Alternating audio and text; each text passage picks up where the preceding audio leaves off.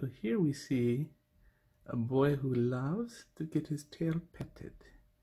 And you hang his little butt over the enclosure just so I can pet his tail because he loves the tail petting so. And as you can see, as I pet the tail, he runs. The tail loves to curl around my hand. And he loves the petting so, yes. he gets so relaxed and happy when I pet the back of his tail. And he's just like, Brooksy, I'm just gonna hang my whole back into my body over while you pet my tail. And you just pet my tail forever, please. That's what he wants. Constant tail petting. He cannot get enough of the little tail pettings. No.